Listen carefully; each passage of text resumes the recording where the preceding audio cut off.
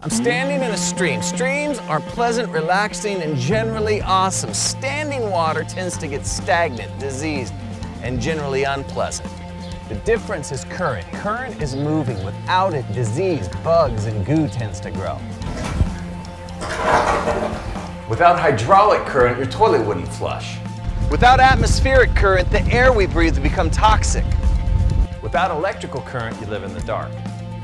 If you don't want your life to get stagnant, then give it away. Empty yourself out. Leave everything on the field. Give everything you've got for a cause. Then take some time to get refilled, re energized, and recharged. If your battery is never on empty, you have no need to recharge. You've got no current. If your tank is never on empty, you have no reason to refill. You've got no flow.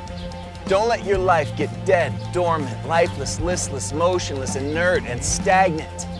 Live in the current. It's awesome out here.